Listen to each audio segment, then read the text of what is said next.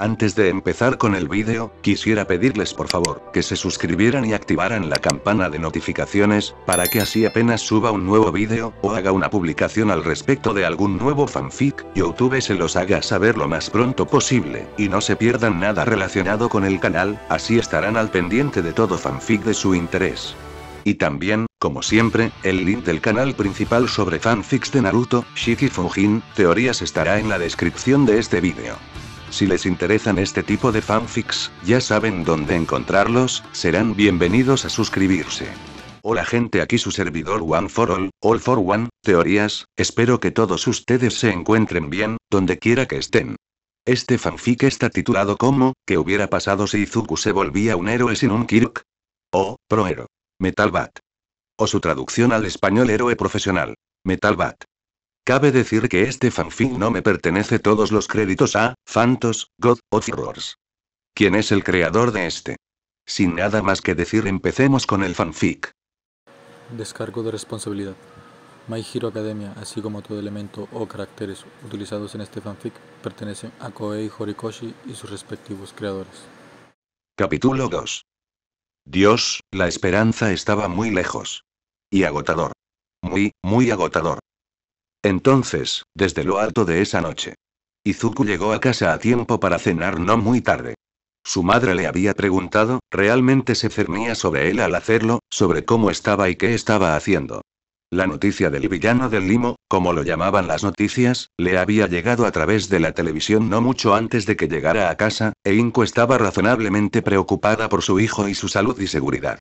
Izuku explicó las notas rápidas de su día, reuniéndose con Olmigt y el villano en un orden que no era cierto porque omitió una charla sobre lo que pasó debajo del puente y la conversación más personal entre él y Olmigt, pero pudo para transmitir lo bien y bien que estaba. Pudo calmarla lo suficiente como para confiar en su palabra y comprender que estaría bien. Luego notó el bat y comenzó a conversar sobre él. Izuku no siguió la conversación y, en cambio, utilizó su reconocimiento como un medio para interrumpir la conversación que quería tener con su madre. Izuku quería aprender defensa personal, simple y llanamente. No cómo luchar de frente. Eso podía esperar hasta el día en que su cuerpo fuera más capaz de luchar. Solo quería aprender a defenderse de las personas que lo atacaban, y tal vez liderarlas o detenerlas para que personas más capaces en combate pudieran someterlas. Lo pensó de camino a casa, y aunque también podía aprender a pelear cuerpo a cuerpo, realmente no tenía el cuerpo para golpear a alguien y lograr que eso significara algo. Tendría que mejorar, o finalmente ganar, masa muscular para ser eficiente en la pelea. Además, su madre probablemente se preocuparía y se opondría más a esa idea dada su situación actual. Pero podría ser pasivo en defensa propia. Aprender a pelear sin necesidad de lanzar un puñetazo, a ser más rápido de pie para evitar enfrentamientos y contactos. Sería un buen punto de partida, para aprender a utilizar su cuerpo y su peso y mejorarse y luego mejorarlo con el tiempo. Una forma de evitar la pelea sin tener que huir y mantenerse involucrado por un bien mayor. Carrera táctica. Y para explicarlo, el BAT sería una herramienta. Estaba familiarizado con algunas armas similares en artes marciales solo a través de los medios, y tal vez podría aprenderlas primero y luego traducirlas al bate. No tenía que usarlo para atacar, y el día en que lo hiciera podría esperar al futuro. Entendió lo suficiente que si quería luchar para proteger a los demás tendría que mantenerse protegido para estar allí, así que todo esto es lo que necesitaba aprender primero. Tuvo que convencer a su madre para que le permitiera tomar una clase para enseñarle lo que necesitaba saber y asegurarle que haría todo lo que estuviera en su poder y el poder que desarrollaría en la práctica para mantenerse a salvo para ella. Con vacilación y un poco de papel de abogado del diablo, Inco cumplió, pero con algunas reglas. El resto de la semana sería nada. Podrían buscar en línea una clase o escuela de defensa personal y artes marciales no muy lejos de casa, algo que Inko podía permitirse con el dinero que tenía y que el padre de Izuku al otro lado del mar les estaba proporcionando. Después del incidente en el distrito comercial y el puente del que no se enteró, lo último que quería era que Izuku se metiera demasiado rápido en todo esto y volviera a meterse en situaciones como esa cuando todavía no estaba listo para tomar acción.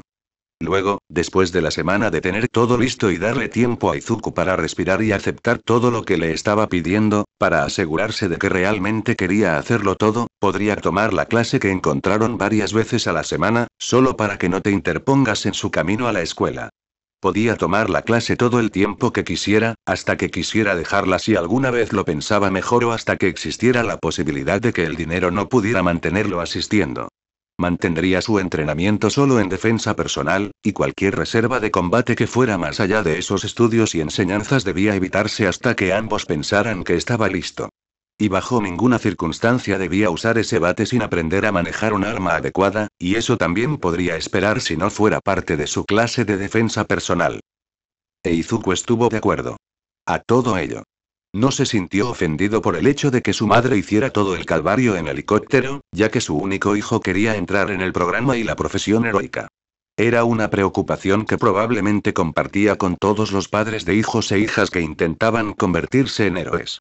Su preocupación estaba justificada, e Izuku no quería traicionarla ni a eso, así que aceptó sus términos.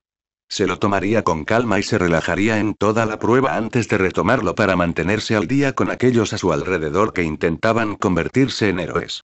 Él prometió. Izuku tosió en su manga, colapsó en la arena y sacó la botella de agua de su bolso.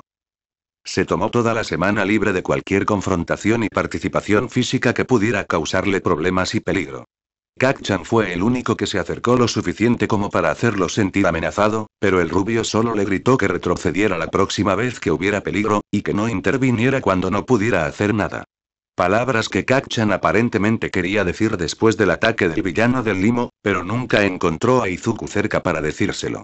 Aparte de eso, la clase que lo rodeaba también mantuvo su propia distancia, algunos dejaron de burlarse de él por completo y otros se aliviaron con las burlas y la intimidación. Parecía que la participación de Izuku en ese incidente desestabilizó los pensamientos previos que tenían sobre él, todos menos uno, y envolvió sus mentes en torno a ello y el Izuku que mostraron en las noticias todavía estaba en marcha.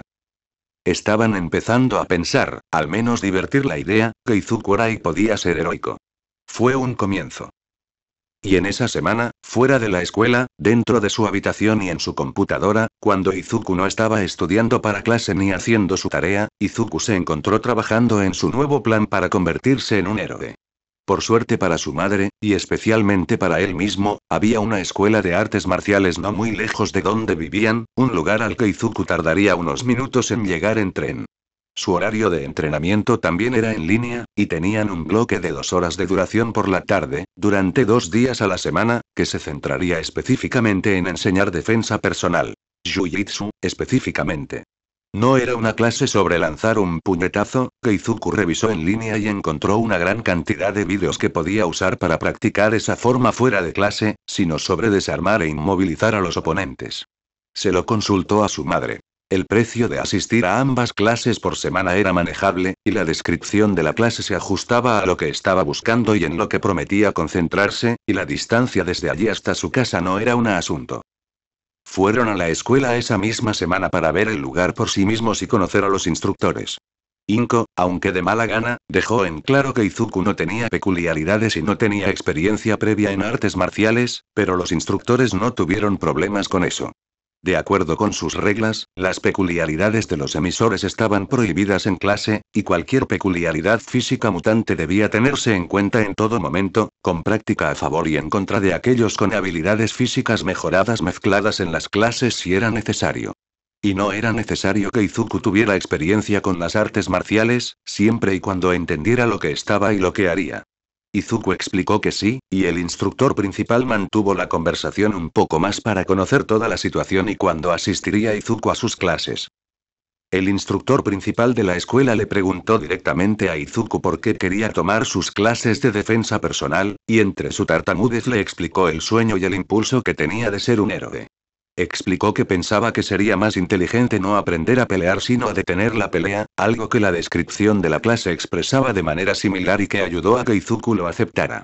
Los héroes sí sabían luchar, pero si pudiera aprender a hacerlo de una manera que fuera menos complicada y destructiva para todo lo que los rodeaba, mejor estaría. Y aunque Izuku estaba nervioso porque su explicación no le valió ningún punto ni promesa, al instructor le gustó mucho su estado de ánimo. Explicó que muchos de los estudiantes que recibió su escuela expresaron una esperanza similar, algunos con el objetivo de convertirla en algo heroico, otros apuntando específicamente a las posiciones policiales y otros aprendiéndola sabiendo que sus peculiaridades no podrían ayudarlos a defenderse, especialmente si no lo hacían. No tengo licencia para usarlos libremente en público. Izuku no necesita preocuparse por sus motivos para unirse. Fueron lo suficientemente razonables y aceptables como para que el propietario de la escuela y el instructor principal le dieran un pase y le ofrecieran un buena suerte. Se discutió y resolvió el precio que su madre tendría que pagar para que él asistiera regularmente cada mes, y cuando todo estuvo dicho y hecho, los dos Midorilla se despidieron con una sonrisa en sus rostros. El instructor les ofreció un asiento para quedarse un rato y ver las clases para estar familiarizado con eso, pero como la clase que Izuku quería tomar sería el día siguiente, Izuku prometió pasar y mirar ese día para recuperarse. Familiarizado con ello entonces. Quería concentrarse en defenderse antes de dejar que se relajara y aprendiera cómo defenderse, sin importar cuánto lo obligara su mente a hacerlo. El resto del tiempo que Izuku tuvo esa semana, lo pasó en línea buscando todo lo que necesitaba saber y que creía que sería importante. La dieta que elaboró con su madre no era demasiado exigente para su billetera, por lo que Izuku estaba igualmente agradecido. No quería que lo que estaba haciendo fuera demasiado para su madre y de ninguna manera quería que ella se quedara sin billetera solo para él y soñara que todos estaban en contra. Y, haciéndole saber y entender a su madre, Izuku dedicaba el tiempo a estudiar, dormir y clases de Jujutsu corriendo para ponerse en pie. Nada demasiado extremo, solo unas vueltas alrededor de la manzana y cerca de su casa. Todo lo que podía hacer en un día cuando tenía tiempo. Siguió corriendo entre sus clases de artes marciales. Y en esos días corría, normalmente durante una hora o poco más de media hora, alrededor de la manzana de su apartamento. Las primeras veces realmente puso en perspectiva lo fuera de forma que estaba. Y cuando comenzaron las clases de Jiu-Jitsu, allí se hizo lo mismo. La enseñanza fue lenta los primeros días, repasando qué era el arte marcial aparte de todos los demás que había que aprender, y la práctica que habían inculcado mucho en la cabeza de Izuku. Su forma necesitaba mucho trabajo, algo que también podía practicar fuera de clase solo para recordar lo que estaba aprendiendo. Era un consejo que el maestro les había dado el primer día a aquellos alrededor de Izuku que también estaban luchando. E Izuku personalmente tuvo que perder su problema de rigidez. Estaba demasiado indeciso para moverse y actuar según las pequeñas técnicas que el maestro les estaba dando. Su agarre también necesitaba trabajo. La colocación de manos y pies también necesitaba trabajo. La mayor parte de él necesitaba trabajo, pero el instructor que tenía no parecía ofendido ni enojado con él por el dilema. Entendían los problemas de todos y prometieron que cuanto más practicaran, más podrían superar esos problemas. Izuku no recordaba una maestra tan agradable como ella desde la que tuvo en preescolar. Izuku enderezó su espalda donde estaba sentado y trabajó en controlar su respiración, devolviendo el aire a sus pulmones. Sus compañeros también eran otra cosa. En su mayor parte, todos eran extraños para Izuku, aunque aparentemente era normal según los estándares de los demás. Nadie fue realmente grosero con los demás, y la gente hizo amigos y conversó durante y entre prácticas con bastante facilidad. Solo otro niño, alguien un poco más joven que Izuku, fue abrasivo con sus palabras, pero su instructor no estaba de ninguna manera satisfecho con su actitud y prometió echar al niño de la clase si seguía ladrando con esas palabras. Izuku realmente solo interactuaba con uno de los chicos de su clase, evitaba a las chicas porque no y a los otros chicos porque parecían más interesados en otras cosas de las que él estaba familiarizado. Masirao Ojiro era un chico bastante agradable e interesante, siendo el único en la clase con una peculiaridad mutante, dado que tenía una cola bastante grande que salía de debajo de su camisa. Las pocas conversaciones que Izuku tuvo con él al comienzo de todas sus clases dejaron en claro que estaba allí casi exactamente por las mismas razones que Izuku. Él también aspiraba a clases de héroes y a la misma escuela secundaria a la que el joven Midoriya quería asistir. Él también era bastante amable, por lo que Izuku se apegó a él durante la mayoría de las clases y prácticas que hicieron. Masirao tuvo que evitar usar su cola en la mayoría de los ejercicios hasta que surgió uno específicamente para defenderse con y contra ella. Muchos de los otros niños parecían dudar en entrenar con él porque tenía una quinta extremidad en el camino, pero Izuku aceptó el desafío de asociarse con él. Le dio a alguien con quien se sentía más cómodo cerca de él con más frecuencia, y aprender a defenderse contra alguien que tenía más experiencia en artes marciales y tenía una peculiaridad física que podría beneficiarlo en la batalla le dio a Izuku un buen desafío para trabajar y aprender. Para sus proyectos futuros. Y cuando terminó la clase, Masirao tuvo que esperar a que su madre viniera a recogerlo, ya que en realidad tenían un auto para transportarse e Izuku solo tenía los rieles para moverlo. Entonces Izuku decidió hacerle compañía cuando su madre llegaba unos minutos tarde, y los dos niños comenzaron a discutir sobre heroicidad y los detalles de sus peculiaridades, o en el caso de Izuku, la falta de ellas. Que Dios lo perdone, pero Masirao no tuvo ningún problema con que Izuku fuera poco peculiar como lo habían sido muchos otros con el adolescente verde. Masirao se veía a sí mismo prácticamente sin peculiaridades, sin nada especial más que una gran cola que, durante la mayor parte del tiempo de la vida cotidiana, simplemente funcionaba como una extremidad adicional. No era nada especial como controlar el agua o liberar explosiones desde las palmas de sus manos, ni tenía mayor fuerza o fibras musculares o huesos en el resto de su cuerpo, por lo que en su mayor parte Masirao se veía a sí mismo como un niño normal. Con una gran cola. Al menos fue amable al respecto. Izuku puso sus manos en sus rodillas y se puso de pie. Había pasado un mes desde que conoció a Olmig, casi muere varias veces, numerosas personas importantes y un matón le dijeron que renunciara a su sueño, encontró un bate en un basurero de la playa y trabajó con su madre. ¿Cómo podría convertirse en un héroe? Había tomado su clase de Jiu-Jitsu durante cuatro semanas, practicando libremente fuera de clase cuando estaba solo y esforzándose más en clase para llegar a fin de mes y poco a poco estaba trabajando para dominarlo.